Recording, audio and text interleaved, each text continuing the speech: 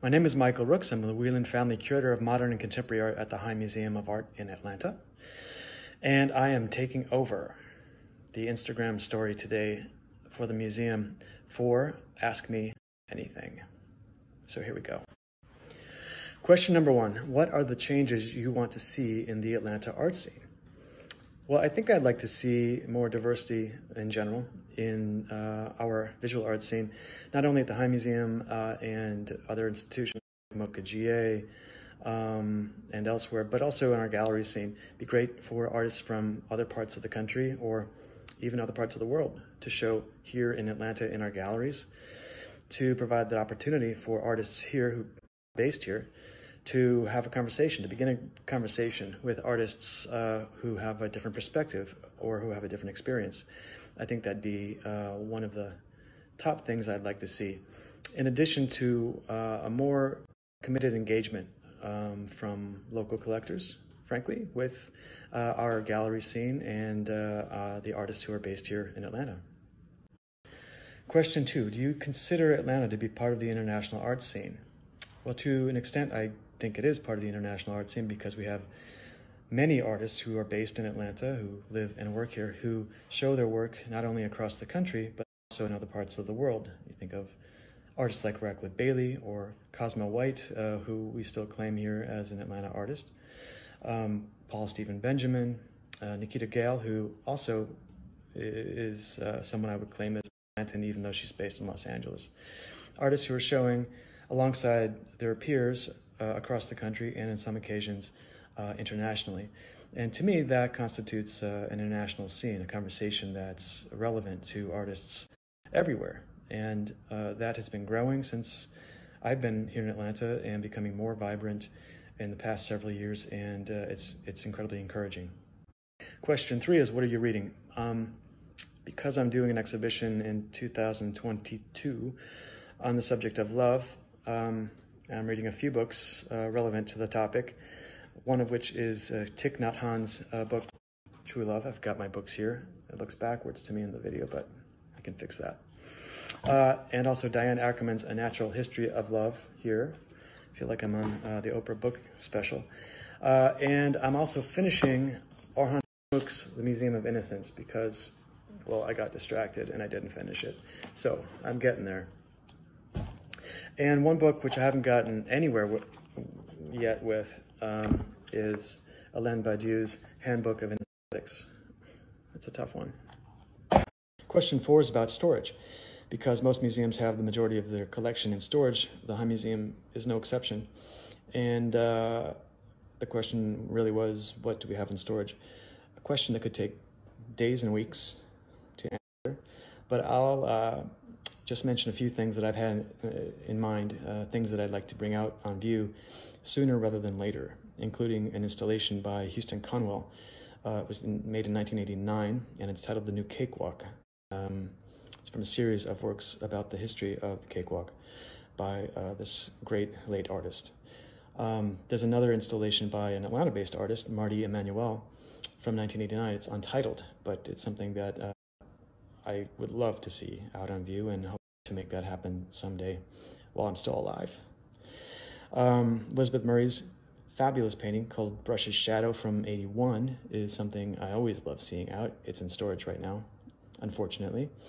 And we also have works by Mark Rothko. Um, several are up right now. Uh, one that's in storage is the largest from 1952, and uh, it's number 73. Uh, it's a beautiful painting, and uh, that comes in and out of storage and shown often. But lots of work uh, in our storage area, and we try to rotate them uh, as often as we can uh, in a manner that makes sense uh, for our audience to put together a story and, and in a way that contextualizes the work so that we do justice to the artist. Question five is Do you have a favorite uh, work of art in the collection? And um, like every parent, um, my answer is no. But if you've been watching The Crown, you'll know that that is absolutely not true. And yeah, I do have a favorite.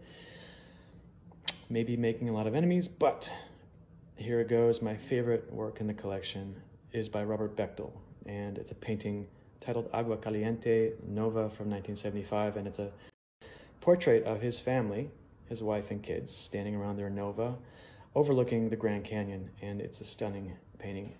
So beautiful, and um, it's not on view very often, unfortunately, but I hope to change that very soon.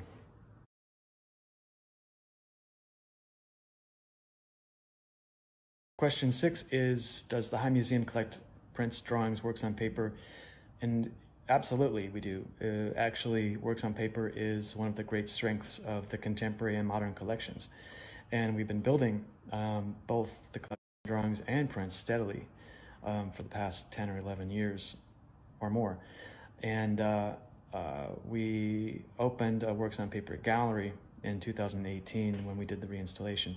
So you'll begin to see more and more works from the Works on Paper collection uh, come out on view for special exhibitions, special collection exhibitions in that space. It's in the lower level of the High Museum. Question seven is Who are the contemporary artists in Georgia who are on the rise? Mm, that's a tricky question because there's always emerging artists at any given time uh, everywhere, uh, especially artists who are emerging from graduate school or artists who've been working for a while and have had a second wind in their career or have uh, changed directions in their studio. And um, also, uh, I'm just one person based here in Atlanta. There are many other uh, centers for artistic production across uh, Georgia. Um, and also, if I mention names, uh, no doubt I'll be in deep, deep duty because I will not mention a lot of names that I should be. But nevertheless, here it goes. Some people that come to mind, top of mind right now, include Davian Alston, Shaniqua Gay, Hassan Salehi, and Gerald Lovell, among many, many others who uh, should be named, uh, but I don't have time to do that here. So, okay, question eight is Who are the top five artists to watch now? And I presume that means everywhere in the world as opposed to just here in Atlanta. Um, and that's an impossible uh, question to answer, unfortunately. Wish I could. Um, and it's possible for a number of reasons. One is that there's tens of thousands or maybe hundreds of thousands of artists whose work is uh, worth paying attention to and whose work often is given a platform uh, for presentation, whether it's in a, a public space like or in private gallery. Uh, also, I guess it depends on uh, the purpose for watching uh, an artist's work uh, and uh, the trajectory of their career. Um, one reason could be commercial, uh, for commercial purposes, you know, um, things that are driven by the market. Um, and for that reason, um, determine how often an artist's work is shown and how much press they get and how much coverage they get, critical coverage. There's also um, you know, uh, artists whose work um, is relevant, is super relevant to what's going on in the world today, uh, whose work may have very little to do with the market. So, um, I guess if I were to combine those two reasons, and there's others, uh, some who come to mind include uh, Vaughn Spann, uh, Maria de los Angeles, Rodriguez Jimenez, um, Felicita Maynard, and Derek Forger.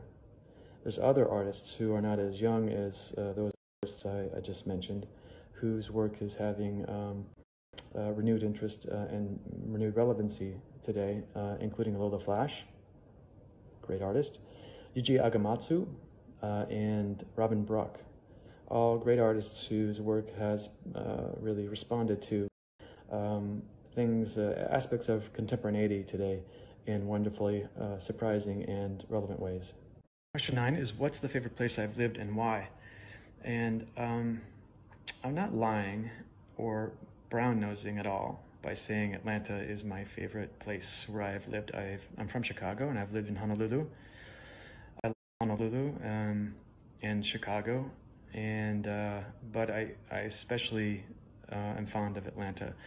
And everywhere that I've lived, it's always been about the people uh, I meet and the people who I work with, and the sense of community. In Honolulu, it was called Aloha, and um, in the South, I think there's a lot of Aloha here in Atlanta, and I've responded to that from the moment I moved to the city. So uh, Atlanta's the place for me, uh, has been for 11 years, and I hope for many, many more. Question 10 is, what is uh, my next dream acquisition? And there's a few I have in mind. Um, of course, we have limited resources, so I have to prioritize. And so uh, my next dream uh, would be uh, by Teresita Fernandez. It's called Nishijin Sky from 2014, something that she made in collaboration with craftsmen, master craftsmen from Kyoto, uh, from a company called Hosoo, which was founded in 1688. And it's absolutely stunning work. Um, uh, in which uh, the artist has combined her interest in the landscape, the sublime landscape, and this tradition of uh, folding screen making in Japan. Uh, the work doesn't fold, it's suspended, something you, you walk around, it's uh, semi transparent and absolutely beautiful. So that's something that uh, I'm hoping and praying that I can bring into the collection this coming year. Question 11 is What new projects are you working on now? Um, well, there's a lot of them actually. So um, if I can think of all of them in one minute, I'll give it my best shot. Uh, the next exhibition coming up is uh, an exhibition of the work of David Driskell, and something I've been working on for a couple of years now with colleagues in Maine. Um, it will be opening at the High Museum in February, so come check it out, please. It's going to be a beautiful show. It's traveling to the Portland Museum of Art in Maine, and also the Phillips Collection in DC. So that's coming up next for me uh, followed by a print show, uh, works by KAWS, the artist who made my beautiful t-shirt here. Uh, to answer an earlier question, do we collect prints?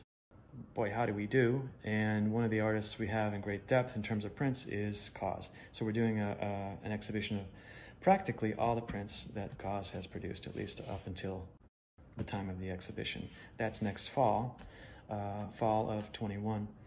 Um, then in the next year, I'll be working on an exhibition, or I have been working on an exhibition for a couple of years about the topic of love in contemporary art and how artists uh, have thought about love as a transformative agent uh, uh, or an agent uh, for change, social change um, in the world today. So that's coming up in uh, March of 22. And to backtrack because there is another exhibition we're opening in March of 21 uh, uh, by Ragnar Kjartansson, an Icelandic artist, and we're presenting his uh, monumental nine-part video, The Visitors, um, just after the Julie, Julie show closes. So uh, come check that out. It's going to be in the same gallery as the Mehretu exhibition, so you'll know where to find it. Um, and I could go on, but uh, lots going on. And well, to answer your question, Brian, um, Brian Donnelly asked me about how many days I go to the gym, you know, this past nine months, because I apparently um, come across as looking ready for the next year. Well, I'm glad you asked that question, Brian, because it's something that I always think about, you know, I try to work out my brain and my body at the same time. And so I don't go to the gym. I have made uh, a little gym here, right here in my kitchen. And um, I'm answering your question in the middle of my workout, which consists of uh, some sit-ups.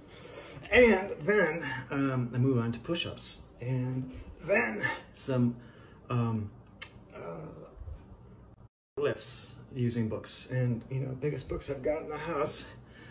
Uh, I think one of them is yours.